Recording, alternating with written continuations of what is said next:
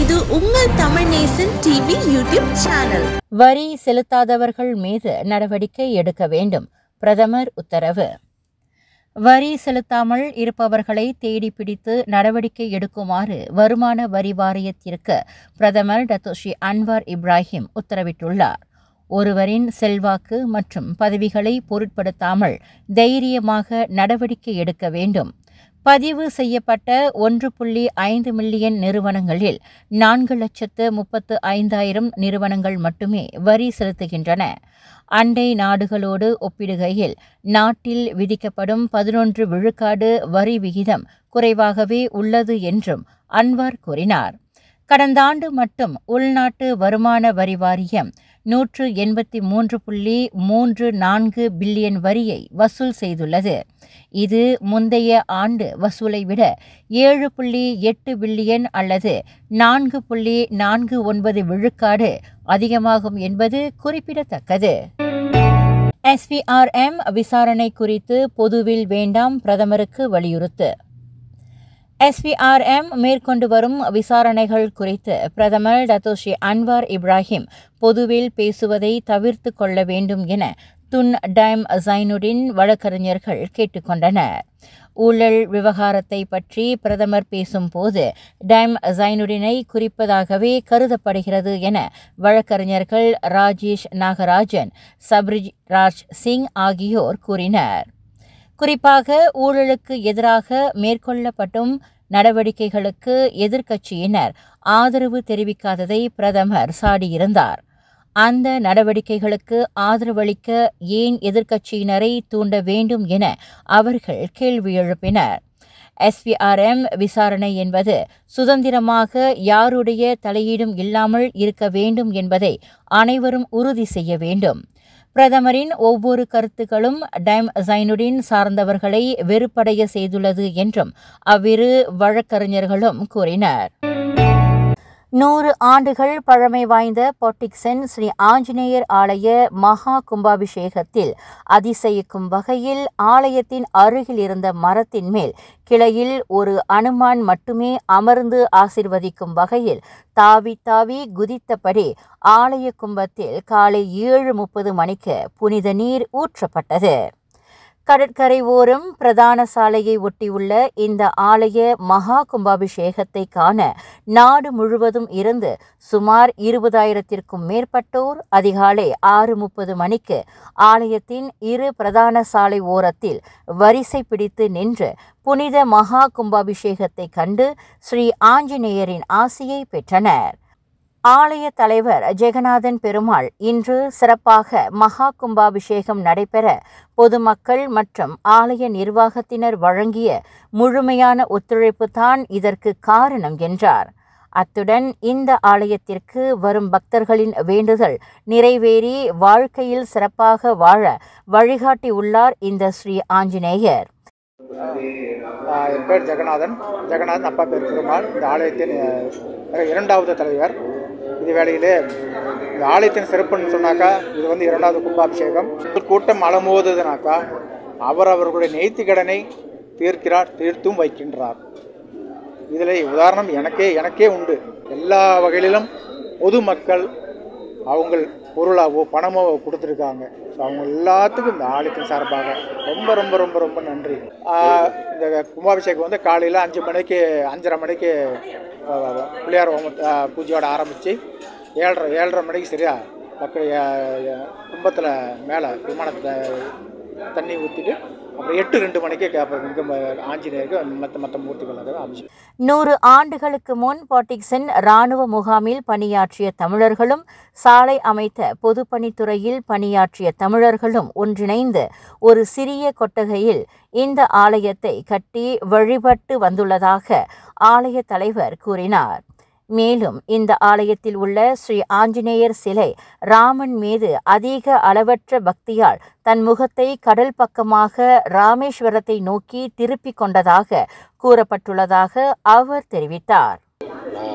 சிங் போட்டிக்ஸ் ஆஞ்சநேய கோயில் தலைவர் செயலாளர் அனைத்து பக்தருக்கும் இன்னைக்கு ஒன்றாந்தேதி மூணாம் மாதம் ரெண்டாயிரத்தி இருபத்தி நாலு கும்பாபிஷேகம் அஹ், நடந்துகிட்டு ஸோ எல்லா பக்தர் வந்தவங்களுக்கும் நன்றி. எல்லோரும் ஒத்துழைப்பு கொடுத்து நம்ம கும்பாபிஷேகத்தை சிறப்பாக முடிக்கிறதுக்கு கொடுத்த நன்கொடைகள் உதவிகள் எல்லாத்துக்கும் நன்றி ரெண்டு இரம் ஊட்டி நன்றி சொல்கிறேன். நம்மளுடைய வாழ்க்கையிலே அருள் செல்வம் பொருள் செல்வம் மக்கள் செல்வத்தை எல்லாம் வல்ல ராமபிரா ஆஞ்சநேய சுவாமி நமக்கு வழங்குவார் என்று சொல்லி இந்த கும்பாபிஷேகத்திலே கலந்து கொண்ட அனைத்து அன்பர்களுக்கும் எல்லாம் வல்ல ஆஞ்சநேய பெருமான் எல்லா நலன்களும் நழுக வேண்டும் என்று அவனுடைய திருவடிகளை வேண்டி தொழுது இந்த வாய்ப்பினை வழங்கிய ஆலய நிர்வாகத்திற்கும் மேலான ஆலயம்.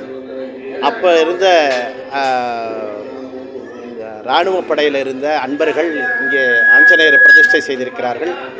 அப்போ இருந்து கொஞ்சம் கொஞ்சமாக ஆஞ்சநேயர் நகர்ந்து சமுத்திரத்தை பார்க்கிறார் என்று ஒரு ஒரு கதையை புராண கதையை சொல்லிக் கொண்டிருக்கிறார்கள். பத்தாவது மையில் அவருடைய பாதம் இருப்பதாக பக்தர்கள் அநேகமான பக்தர்கள் நம்புகிறார்கள். எது எப்படியாக இருந்தாலும் இங்கே இருக்கக்கூடிய ஆஞ்சநேய பெருமான் வரக்கூடிய அனைத்து பக்தர்களுக்கும் அவர்களுடைய குறைகளை தீர்த்து எல்லா வளங்களையும் வழங்கிக் கொள்ள இருக்கக்கூடிய ஒரு ஆற்றல் மிக்க சுவாமியாக நமக்கு அருள் பாலித்துக் கொண்டிருக்கிறார். ஸோ அதனால் நேற்று வந்தேன் இங்கே ஸோ வந்து இங்கே கும்பாபிஷேகத்துக்கு ரொம்ப சந்தோஷம். அதாவது இவரை வந்து பார்க்குறதுன்னா அது தரிசனம் கிடைக்கணும். அதாவது யாரோட பிளஷிங் கிடைக்கணுமோ அது எனக்கு கிடைச்சிச்சு. அதே மாதிரி மக்களுக்கும் கிடைச்சிருக்கு. சிறப்பு ரொம்ப சக்தி வாய்ந்த கோயில்னு சொல்லுவாங்க. அதனால் லட்சுமி பெருமாள் ஜோஹர்லேருந்து வரோம். இந்த கோயிலை பற்றி சிறப்பு கோயில் வந்து சிறப்பு சொல்லவே தேவையில்லை. ஏன்னா வந்து நான் சின்ன பிள்ளைங்க இங்கே தான் வரேன் ஏன்னா நான் ஹோம் டவுன் வந்து மிமங் கொடிக்சன் இங்கே பிறந்து வளர்ந்து தென் க்ரோன் இவரோட சக்தி வந்து வெளியே சொல்ல முடியாது. ஏன்னா நானே நிறைய பல தடவை நான் வந்து அவரோட அனுக்கிரகங்களை அருளை நிறைய அனுபவிச்சிருக்கேன். மேல் முறையீட்டில் தோல்வி இரு பிரம்படிகள் நிலைநிறுத்தம். த்ரோனோ முன்னாள் சட்டமன்ற உறுப்பினர் பால் யாங் தமக்கு வழங்கப்பட்ட பதிமூன்று ஆண்டுகள் சிறை தண்டனை தீர்ப்புக்கு எதிராக மேற்கொண்ட மேல்முறையீட்டில் தோல்வி கண்டுள்ளார். இந்தோனேசியாவை சேர்ந்த வீட்டு பணிப்பெண்ணை கற்பழித்த குற்றத்திற்காக அவருக்கு பதிமூன்று ஆண்டுகள் சிறையும் இரண்டு பிரம்படிகளும் விதித்து இப்போ உயர் நீதிமன்றம் கடந்த ஈராயிரத்தி இருபத்தி இரண்டாம் ஆண்டு தீர்ப்பளித்தது. அத்தீர்ப்புக்கு எதிராக அவர் மேற்கொண்ட மேல்முறையீடு இன்று விசாரணைக்கு வந்தது. நீதிபதி ஹட்ஹாரியா ஷெட் இஸ்மாயில் தலைமையிலான மூன்று நீதிபதிகள் அடங்கிய குழு இரண்டுக்கு ஒன்று என்ற முடிவின் அடிப்படையில் அவரின் மேல்முறையீட்டு மனுவை தள்ளுபடி செய்தது. அதோடு அவருக்கு வழங்கப்பட்ட பதிமூன்று ஆண்டு சிறை தண்டனை எட்டு ஆண்டுகளுக்கு குறைக்கப்பட்ட வேளையில் இரு பிரம்படிகள் நிலைநிறுத்தப்படுவதாக நீதிபதி கூறினார். இருந்தாலும் கூட்டரசு நீதிமன்றத்தில் மேல்முறையீடு செய்ய அவருக்கு அனுமதி அளிக்கப்பட்டது.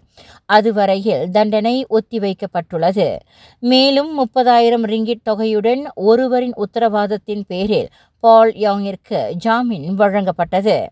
கடந்த ஈராயிரத்து பதினேழாம் ஆண்டு தமான் மேரு டேசா எனும் இடத்தில் உள்ள வீடொன்றில் இருபத்தி மூன்று வயதுடைய இந்தோனேசிய பணிப்பெண்ணை அவர் கற்பழித்ததாக குற்றச்சாட்டு கொண்டுவரப்பட்டுள்ளது தீ விபத்தில் சிக்கிய வயதானவர் உயிரிழந்தார். இரு தினங்களுக்கு முன் பிர்சாம் தமன் உத்தமாவில் உள்ள வீடொன்றில் வயதான ஆணும் பெண்ணும் முழுமையாக தீக்கிரையான சம்பவம் பெரும் பரபரப்பை ஏற்படுத்தியது. அதில் பாதிக்கப்பட்ட அறுபத்தி நான்கு வயதுடைய ஆடவர் நேற்று மாலையில் உயிரிழந்துள்ளார். அவரின் மனைவியான ஐம்பத்தி ஏழு வயதுடைய பெண் எழுபது விழுக்காட்டு தீப்புண் காயங்களுக்கு ஆளானதால் தீவிர சிகிச்சை பிரிவில் சுய நினைவின்றி இருக்கின்றார். அல்சா ரக கார் மற்றும் ஒரு மோட்டார் சைக்கிளில் ஏற்பட்ட தீ விபத்தில் அவ்விருவரும் பாதிக்கப்பட்டதாக நம்பப்படுகிறது. இச்சம்பவம் தொடர்பில் அண்டை வீட்டார்களிடமும் அத்தம்பதியரின் இரு பிள்ளைகளிடமும் வாக்குமூலம் பெறப்பட்டதாக பேரா மாநில போலீஸ் தலைவர் யுஸ்ரி ஹசன் பஸ்ரி தெரிவித்தார். தீ ஏற்பட்டதற்கான காரணம் உட்பட அங்கு உண்மையில் என்ன நிகழ்ந்தது என்பது தீவிரமாக விசாரிக்கப்பட்டு வருகிறது என பேரா போலீஸ் தலைமையகத்தில் நடைபெற்ற மாதாந்திர சந்திப்புக்கு பின் செய்தியாளர்களிடம் பேசிய அவர் கூறினார். போலீஸ் அதிகாரி மீது துப்பாக்கிச் சூடு முதியவர் கைது. கெடா சீக் அருகே உலுமுடா வனப்பகுதியில் நேற்று போலீஸ் அதிகாரி மீது துப்பாக்கிச் சூடு நடத்தியது தொடர்பில் விசாரணைக்காக உதவுவதற்காக அறுபத்து ஐந்து வயது முதியவர் கைது செய்யப்பட்டுள்ளார். இன்று சுங்கைப்பத்தானி மஜிஸ்ட்ரேட் நீதிமன்றத்திற்கு கொண்டு வரப்பட்ட அந்த முதியவரை ஆறு நாட்களுக்கு தடுப்பு காவலில் வைத்து விசாரிக்க மஜிஸ்ட்ரேட் நோர் ஃபஸ்லினா முசா அனுமதி அளித்தார். வன காப்பகத்தில் உள்ள நூற்று இருபத்தி நான்கு பகுதியில் அத்துமீறல் மற்றும் வேட்டையாடுதல் நடவடிக்கைகள் பற்றி விசாரிக்கும் போது சம்பந்தப்பட்ட அதிகாரி சுடப்பட்டதாக கூறப்படுகிறது. பிப்ரவரி இருபத்தி ஏழாம் திகதி நண்பகல் பனிரெண்டு மணி அளவில் இதர போலீஸ் அதிகாரிகள் வனத்துறையினர் மற்றும் பொதுமக்களுடன் அந்த அதிகாரி உலுமுடா வனப்பகுதிக்குள் சென்றதாக மாவட்ட போலீஸ் தலைவர் அப்துல் ரசாக் ஒத்மான் கூறினார். இதற்கிடையில் அவர் துப்பாக்கி சூட்டிற்கு இலக்காகி உயிரிழந்த சம்பவம் தொடர்பில் தீவிர விசாரணை மேற்கொள்ளப்பட்டு வருவதாக அவர் சொன்னார். பட்டி தொட்டி எங்கும் பட்டையை கிளப்பும் கே எல் கைங்க மலேசிய பாடல். சம்பா ராக் இசையில் தனக்கென தனி முத்திரை பதித்து வரும் மலேசிய கலைஞர் நந்தகுமார் கணேசன் வெளியிட்டுள்ள கே எல் கைங்க எனும் பாடல் பட்டி தொட்டி எங்கும் பட்டையை கிளப்பி வருகிறது. நந்தகுமார் சொந்தமாக எழுதி பாடிய இப்பாடல் டி எச் ஆர் ராகாவின் பத்து சிறந்த மலேசிய பாடல்கள் பட்டியலில் இடம் பிடித்துள்ளது. கடந்த ஆண்டு அக்டோபர் மாதம் வெளியிடப்பட்ட இப்பாடல் மூன்று மாதங்களாக ராகா வானொலியில் ஒலிபரப்பாகி வருகிறது. மக்களின் வாக்களிப்பு மூலம் வானொலிக்கு தேர்வு செய்யப்படும் பாடல்களில் தனது பாடல் இடம்பெற்றிருப்பது பெருமை அளிப்பதாக நந்தகுமார் கூறினார். கேஎல் இளைஞர்கள் தொடர்பான இந்த பாடல் நல்ல வரவேற்பை பெற்றுள்ளது. தனது சொந்த யூடியூப் சேனலான வெற்றி தமிழன் ரெக்கார்ட்ஸில் இந்த பாடலை மக்கள் கேட்டு ரசிக்கலாம். இப்பாடலின் காணொளி அனைத்தும் கொலலும் போரில் படம் பிடிக்கப்பட்டது. இதில் கீதாரீஸ் லோகேஷ் தம்முடன் இணைந்து நடித்திருப்பார். கிட்டத்தட்ட பத்து ஆண்டுகள் கழித்து மீண்டும் இசைத்துறையில் காலடி எடுத்து வைத்து ஈராயிரத்தி இருபத்தி இரண்டாம் ஆண்டு தைப்பூசத்திற்கு வேளா வடி வேலவா என்ற பாடல் வெளியிடப்பட்டது. அப்பாடலுக்கு கிடைத்த மகத்தான வரவேற்பை தொடர்ந்து ஈராயிரத்தி இருபத்தி மூன்றாம் ஆண்டு வேளா என்ற பாடலும் இவ்வாண்டு முருகா வேல்முருகா என்ற பக்தி பாடலும் வெளியிடப்பட்டது.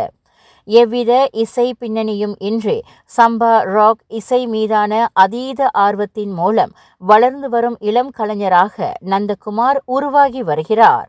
தம்முடைய படைப்புகளுக்கு தொடர்ந்து ஆதரவளித்து வரும் அனைவருக்கும் மனமார்ந்த நன்றியினை தெரிவித்துக் கொள்வதாக நந்தகுமார் கூறினார். நம்ம தமிழ் நேசன் டிவியில் லைக் பண்ணுங்க சப்ஸ்கிரைப் பண்ணுங்க சப்ஸ்கிரைபர் பெல் பிரஸ் பண்ணுங்க. இது ஒரு தமிழ் நேசன் டிவி தயாரிப்பு.